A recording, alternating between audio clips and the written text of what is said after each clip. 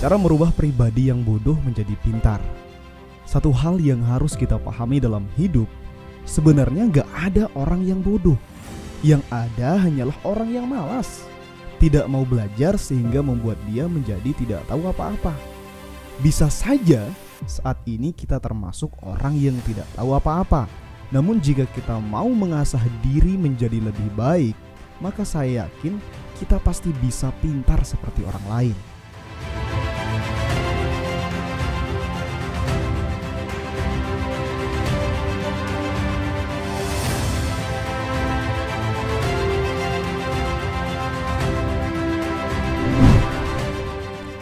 Pintar itu bukan bawaan dari lahir, namun itu merupakan sebuah hasil dari proses ketika kita belajar dengan maksimal.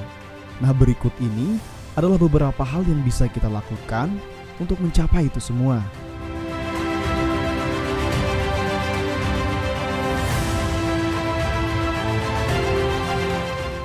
Yang pertama, hilangkan rasa malas. Hal pertama yang harus kita atasi agar menjadi pintar adalah jadilah orang yang produktif. Maka dengan begitu, hendaklah kita harus menghilangkan rasa malas dalam diri kita. Malas ini akan membuat niat dan kegiatan yang harus segera kita lakukan itu menjadi tertunda.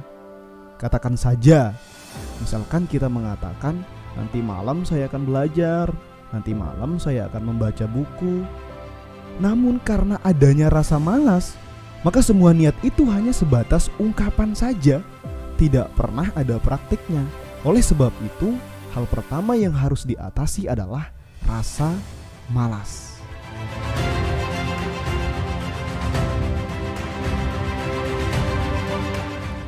Kedua, optimis dan yakin bahwa kita bisa.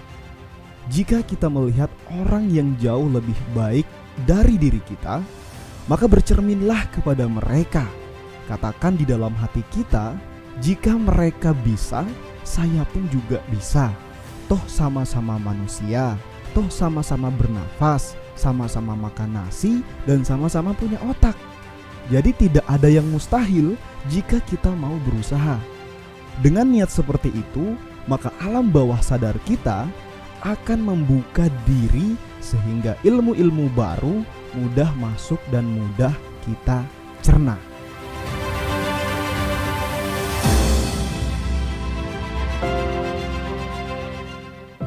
Ketiga, perbanyaklah membaca. Sebenarnya membaca itu ibaratnya sama dengan makan. Cuma bedanya kalau makan itu akan masuk ke dalam perut. Namun kalau membaca itu akan masuk ke otak kita. Sehingga itulah yang akan menjadi ilmu dan membuat diri kita menjadi pintar. Bayangkan jika setiap hari kita membaca banyak hal tentang pelajaran yang ingin kita kuasai, maka berapa banyak ilmu yang akan masuk ke dalam otak kita, sehingga tanpa sadar, ketika misalnya ada salah seorang yang bertanya tentang sesuatu kepada kita, kebetulan apa yang ditanyakan itu pernah kita baca, maka sudah pasti kita bisa menjawabnya. Begitulah pentingnya membaca. Tanpa membaca, orang tidak akan pernah berpengetahuan. Di zaman sekarang, membaca itu sangat mudah. Kita bisa membaca buku ataupun membaca artikel di internet. Tinggal kitanya, apakah mau atau tidak.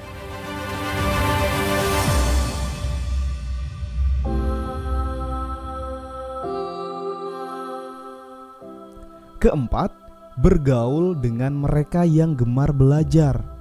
Pernahkah kita sadari bahwa lingkungan itu sangat penting bagi diri kita?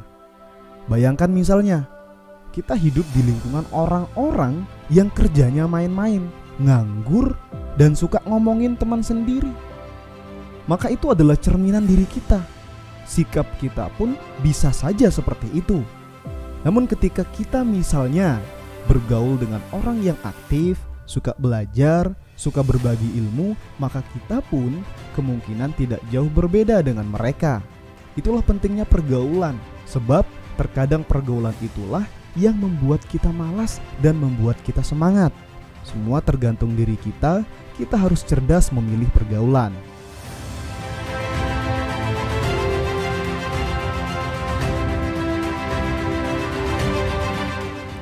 Kelima, jangan lupa berdoa.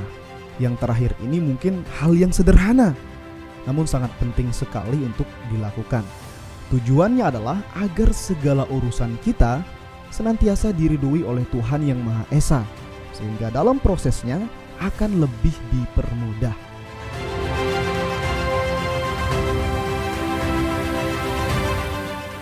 Sahabat inspirasi, demikian informasi yang dapat saya sampaikan kali ini. Semoga bermanfaat dan selalu salam inspirasi.